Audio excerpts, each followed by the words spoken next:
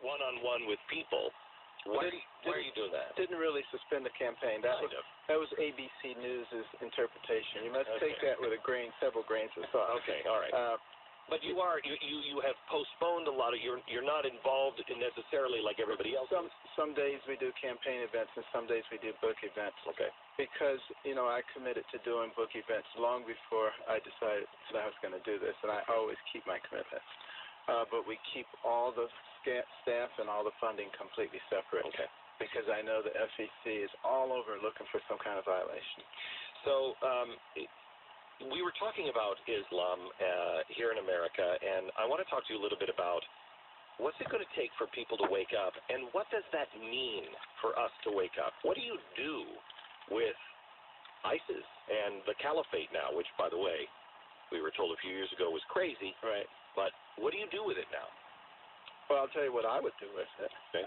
Um, you know, I, I feel that one of the reasons that uh, they're being so successful with their recruitment efforts is because they have, in fact, established a caliphate. Uh, half of Iraq, a third of Syria, uh, beachheads in Somalia, Nigeria, Tunisia, and uh, they are looking extraordinarily successful. And they're able to offer people who frequently live in pretty desperate situations some semblance of, of prestige in their life and money that they can send to their family. Uh, what I would do is make them not look like winners. Now, how would you do that? Well, the easiest place, I think, to go is Iraq. Uh, the, the government in Iraq is pretty much in shambles at this stage of the game. Uh, but I think it would be relatively easy to take the territories back from them. That would be a huge blow to their prestige. Who do you who, do you arm anybody? Uh, well, I think we, we would have to put our own people on the ground because, you know, our administration has called for, you know, a coalition. But guess what? Coalitions don't form automatically. They, bef- they form behind something. So also we have a lot of special forces. We, we have capabilities that are very substantial. Uh, but we're not using them. That's that's one of the big frustrations for many of the generals that I've talked to who've retired. We have the capabilities of doing things, but our people won't let them do it. What do, where do you stand on uh, where do you stand with the Kurds? Well, you know, there's there's several factions of the Kurds, as you know. Uh, the, the one that we hear about the most are the Peshmerga. Uh, the PKK is the faction of Kurds that Turkey is at war with. Um, and you know, I definitely think we should be directly helping them. I think they're an enormous fighting force with a tremendous history, and they have a lot of variations, including Christians, among them. We we are, uh, you know, the hearings uh, happening this week with on the Hill with Hillary Clinton in Benghazi. Um, I said three days after that happened, it had nothing to do with film. We were arming uh, the people in Syria. Um, I, of course, was called crazy for that. We had some pretty good sources on that. As it turns out, that's exactly what was happening. Now, all those people that the GOP even was fine um, arming, turns out they're the bad guys, and we armed them. How do you know who to arm and who not to? Uh, well, it's it's very difficult. I I think we've done a pretty poor job of maintaining our covert sources. You know, and it was a it was a PC move. It was political correctness, and you know, the CIA and all these people were evil, and you know, we're the cause of all the problems, and we really kind of let that fall by the wayside. That was a huge mistake, uh, and and we have to have the kind of intelligence that is necessary in order to make the right decisions. We also need to understand that, you know, there's a lot of complex interrelationships uh, throughout that region of the world. And when you go in and you like pull out one of the the, the, the legs of the bar stool, bad things are going to happen, and you have to be prepared to deal with those. So that was the reason that I wasn't all that anxious, quite frankly, in the beginning to go into Iraq. Um, and, you know, once we got in there, it was terrible to precipitously withdraw. That was a problem. But if you hadn't gone there first place, it wouldn't have been a problem. And, uh, you know, Saddam Hussein was actually as evil as he was a stabilizing force there. By the same token, in Afghanistan, Afghanistan is a buffer zone. It is it's an important place, and you know, I I would not have put hundreds of thousands of troops through there. I would have a, a small force that would give us the ability to do what we needed to do. When we come back, his first day in office and his faith is a more perfect union. Um, he is, uh, I tell you, um, Ben, we, we, we, we watch you and we admire you. We pray for you. Thank you. Um, That's what's making a difference. it is. It is. Let me start there. You're a Seventh day Adventist. I'm a Mormon. Mitt Romney was a Mormon. They haven't even started on you yet. I have seen seen uh, people try to get you to say, I think you and I, and I'm not talking about religiously, I'm talking about politically and in some ways uh, religiously, believe many of the same things, of the times in which we live. Um, and I've seen them dance around. And I thought, nobody is going for his throat yet. Are you ready for what's coming your way? Yes. Absolutely. They don't frighten me in the slightest. What's coming your way? Uh, w- well, everything that they can possibly throw against the wall. They're already doing it, and it will intensify because they're looking for something that will stick. Uh, they've been every place I've ever been. They've talked to everybody I've ever known. It's funny when I talk to people, I hear how they're digging. Oh, yeah. Um, but I don't care because there's nothing there. They're coming after your faith, you know. Uh, they're welcome to. I uh, I have a very good defense against it. I simply ask them a question back when they ask me a question. What is the question?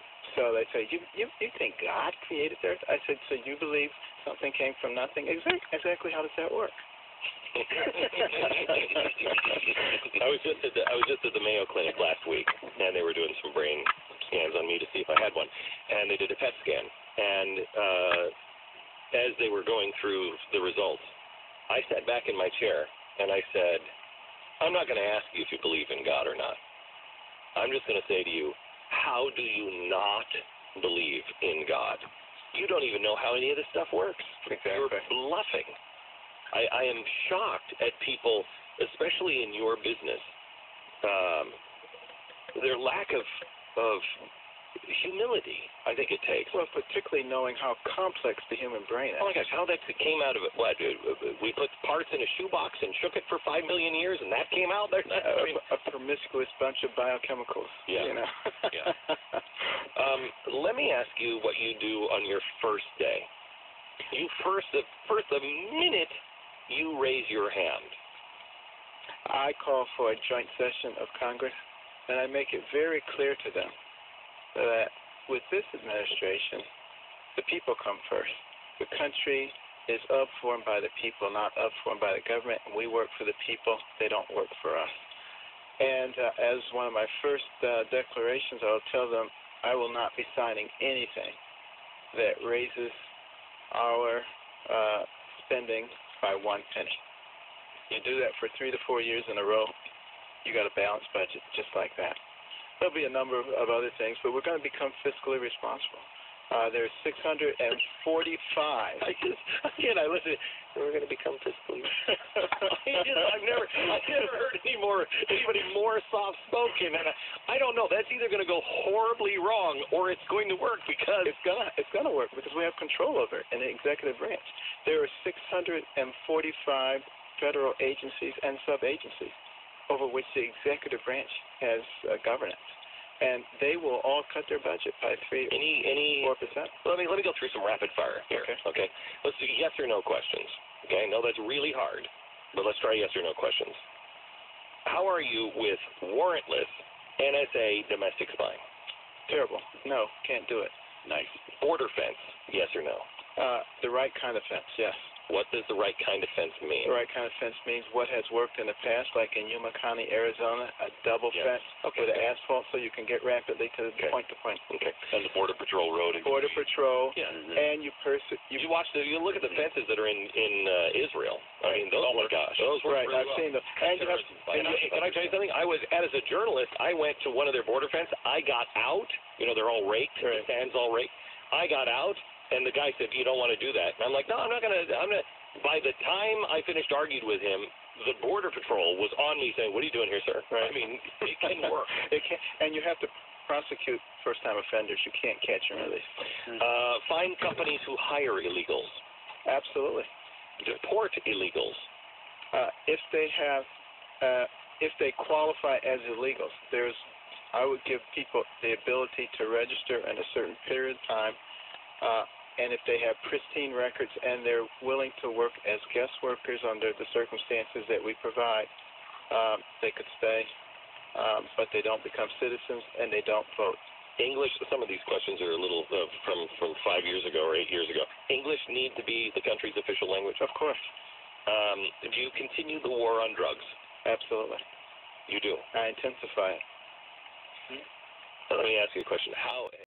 Border in Arizona like I was a few Yeah. weeks ago. I mean, it's it's it's an open highway, and the federal federal government isn't doing anything to stop it. Okay. Legalize marijuana. I, I d- disagree with it. Um, would troops? You've already answered this. Would troops have gone into Iraq knowing what you know now? No, Um, But you would send them back. You would send troops. Because of the situation now. well, you wouldn't have the situation if you had No, that. right. Yeah. But now, but now that we have the situation. Oh yeah, I, ground oh troops. absolutely. And Uh, an we need a stabilizing force, uh, or just a, We need a stabilizing force. which means But right now, it's gonna. The longer you wait, the bigger the force has to be. okay. Um, are you are you kind of a guy that um, I happen to believe if you're going to fight war, war is kill the other side faster to Right. take their breath away. Right, you save lives that way. Correct. So, are you the kind of guy that goes in, hammers them, and then goes home, or do you go in, you do what you have to do, and then stay there and rebuild them? No, I I think you get it over with quickly. I I don't believe in politically correct war. Okay. Keystone Oil Pipeline, Absolutely, drill in ANWR, absolutely, uh, drill off the coasts. absolutely. Climate change, is it real, man-made, and can we do anything about it? Well, climate always changes. It's either going up or down. Uh, we do have a responsibility uh, to take care of our environment. That's the real issue. We don't have to make it into a political war. um, would you have joined um, uh, Agenda 2030? No. Um, national standards for education. Uh, absolutely not. The closer education is to home, the better the education. Um, uh, shut down the Department of Education. Uh, I actually have something I would use the Department of Education to do. Would it be pack boxes for the State IRS? No, it would be to monitor our institutions of higher education for extreme political bias and deny federal funding if it exists. I like that. Um, uh, Common Core, yes or no? No. Okay. Um, should the U.S. remain part of the United Nations? I don't like the United Nations, and unless they change, I would not participate. I would defund them. Um, one word to describe the following. One thing the uh, Republican Party has wrong. Uh, their failure to reach out, I think, to some of the groups that don't like them. Um, Obamacare, repeal or replace? Uh, I think it has to be replaced and then repealed in that order. Okay, I think we have to do another show on that. teachers, one word to describe teachers' unions. Teachers' unions right now are not what they were when they began. So they've metastasized into something that is not good. Um, one word to describe President Obama. Um, someone who does not believe in American values as traditional values. One word. You notice he's not answered any of these one words. They're all good answers, but uh, I keep trying. None of these politicians have given me one word. One word to describe Donald Trump. Um, non-traditional. You came up with the one word. Very good. One federal program you would cut. Um, but there's a lot of them I would cut. Um,